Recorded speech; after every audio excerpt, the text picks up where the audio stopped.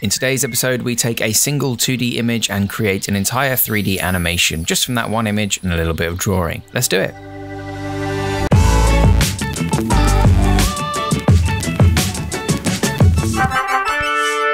Tip Tut.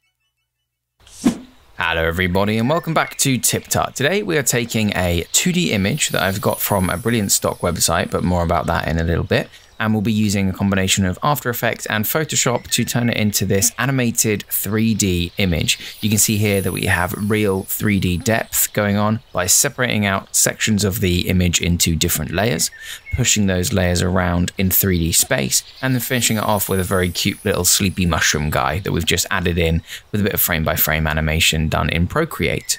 So in this episode, we'll take you through this entire process, but before we do that, a little bit of a word from the sponsor of this episode. For this project, I used two websites, reshot.com and mixkit.co, who were kind enough to sponsor this video. I used reshot.com as a great place to get completely free stock photos with a commercial license that don't have that fake stock feeling. There's loads of choice and a nice little prompt on searches that helps you think of other ways to phrase your search, which is really useful. As for Mixkit.co, they've got a solid collection of stock video clips, music, sound effects, and templates, all available for free.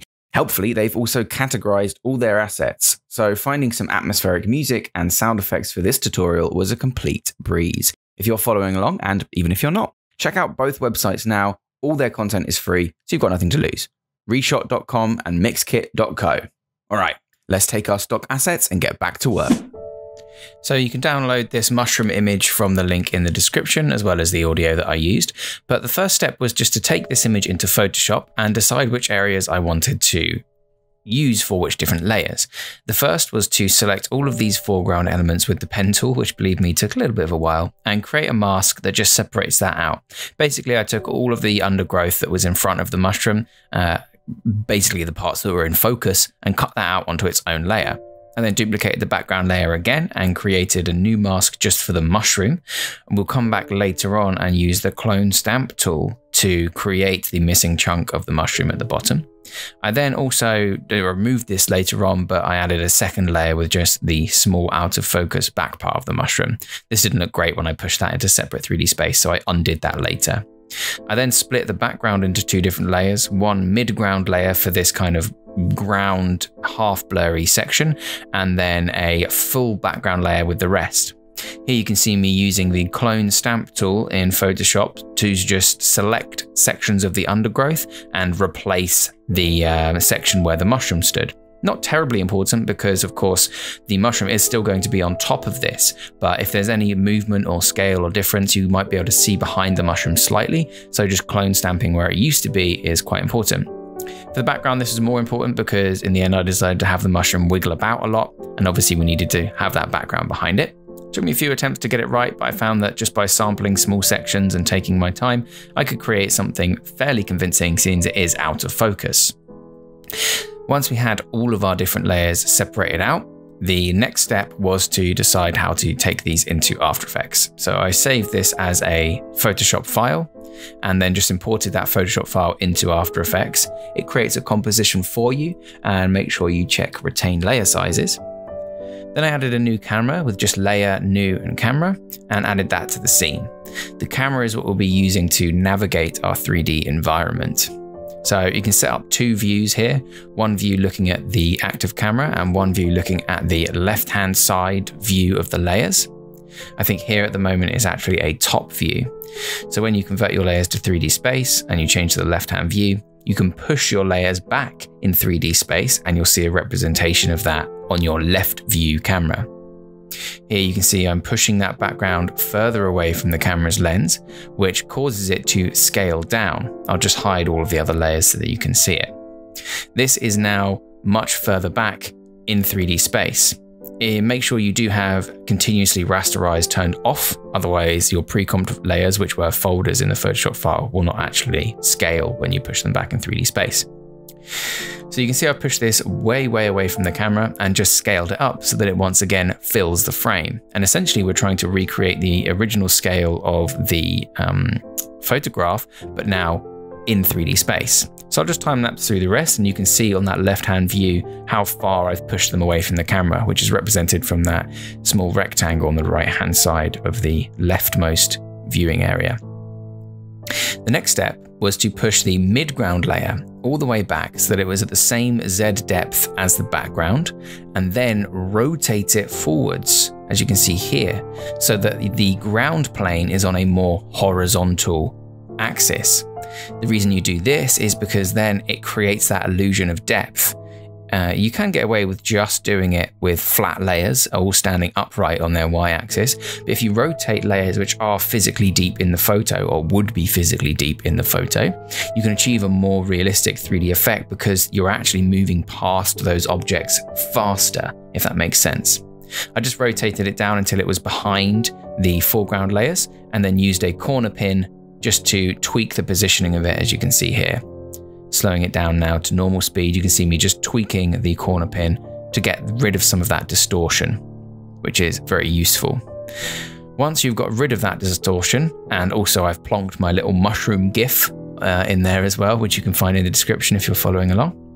Um, it was ready to basically start messing around with the colors to make this look a little bit more magical.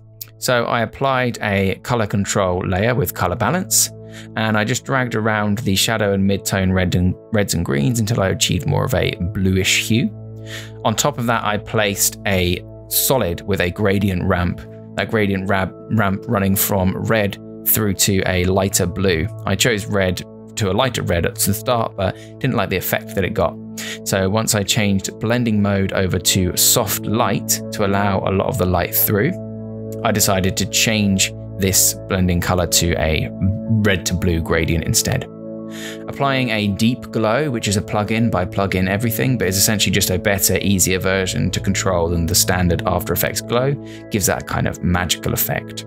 The little mushroom guy, I duplicated his layer, turned the layer on top to multiply, and then masked out the top section along the same lines of what the top mushroom looked like in order to create a small shadow underneath this mushroom fella, and then just pressed the F key and dragged up the mask feather in order to soften that edge just a little bit. This worked fine, but I wanted a bit more of a shadow, so I duplicated that layer again and applied a inner shadow to the whole layer, which I then tweaked the properties of just by twirling down the inner shadow properties until the angle was coming from the top left and the shadow was very soft. And this created a nice kind of round effect to the mushroom. Uh, additionally, I then went ahead and added an inner glow as well, which I can use as an highlight. You're kind of getting something similar to a bevel and, bo- bevel and emboss effect, um, but instead of doing it with one effect because it doesn't affect, it doesn't mask well to the shape of the mushroom, I did it with an inner shadow and an inner glow as well. So with the inner glow, I just positioned it the other edge of the inner shadow so that it complements it coming at the other way just to give that kind of fake effect of a more 3D rounded body. The mushroom himself, I'll just pop this up in an overlay now. Um, I just drew him in Procreate, frame by frame, a very simple piece of frame by frame animation for him breathing in and out as he snores and sleeps the day away under this mushroom. So nothing special going on there. And I just exported it as a GIF. I toyed with putting him behind the foreground, which in the end I can't remember if I decided whether I liked it or not but I thought about applying a tilt shift effect. To do that, I just created a new adjustment layer on top, made it very blurry with a simple Gaussian blur, and then double clicked the shape layer tool with the circle selected to create a circular mask. I then pulled the positions on the path points of this mask around until I got a shape that I liked, essentially trying to create a level of blur on the top and bottom of the frame. This, when you change the mask mode from add to subtract, and increase the feather amount quite a bit, you can see creates a really nice tilt shifting effect. I believe I actually increased it a bit more after this, but I just tweaked the mask so I got this kind of vague S lump shape, which created a nice um, thin layer of blur along the top and bottom of the composition as well.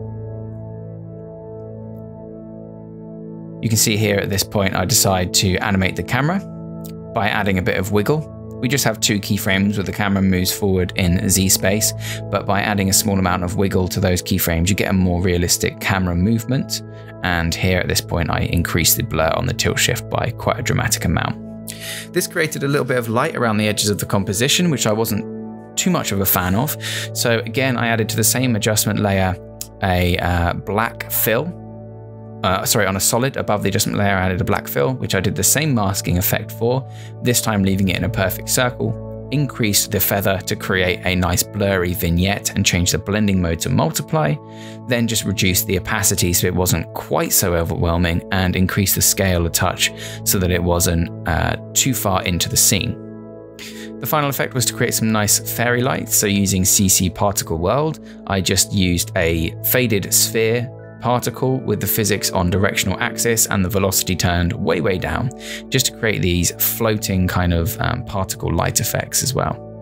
The final step then was to go inside my mushroom composition and place three very simple pins in it with the puppet pin tool all along the stalk, which allowed me to wiggle the mushroom back and forth. I also went in and added some starch pins to the bottoms that didn't wiggle around too much, although this was luckily covered up by the foreground that we used in the beginning, so you can't actually see the bottom of the mushroom wiggling around too much. Just adding these starch pins though does fix any potential problems. And I added some very simple keyframes to animate this mushroom. I didn't want it to do too much, so what I did was just pin, uh, keyframe all of the pins and have it wiggle back and forth, I think once or perhaps twice over the entire 10 seconds. Here you can see me messing around with the keyframes until I got a timing that I liked, and I decided on something a bit more subtle. So let's take a look at the final result. As you can see, you can get a really good effect with this with just a little bit of time and patience, and the best way to create something like this is just to have a go. So download those files from the links in the description, have a go yourself. You should be able to get the mushroom there, the audio files that I used for the magical forest sound, and the animated GIF of the sleeping mushroom. So thank you very much for watching everybody. I hope you enjoyed this tutorial. Thank you for uh, watching all the way to the end and just for you lucky people as well, you get to take part in a little quiz um, which is just I'd like you in the comments below to just post whether you prefer this style of tutorial where I have made something in the past and I'm talking over my process, or whether you prefer my normal style of tutorial where you're going through the entire process with me in real time. Just experimenting a little bit, seeing if this is a way to create more content for the channel. Let me know what you think in the comments below. Thank you ever so much, and I'll see you next time for another episode of Tip Tut. Massive thank yous to my level 2 and above members WN62, Ian Costello, Catmar, Rob V, Jason Carl Ruddy, MP, Demon Zua, Vola Furs, Melem Hoover, Two Steps to Chill, Josh Colon, Ursula Famanska, The Saucier, Lali Lulelo X, Andrew Hammond, Jenna Carey, Jobs Animations, Sergio Degalardo, Ralika M, Narain Abdillah, Barbara Resner, Lone Wolf 16, and Era D. You guys are super duper lovely people. If you'd like to join the Tip Tut Zone and become a Tip Titan yourself, consider by clicking that join button below.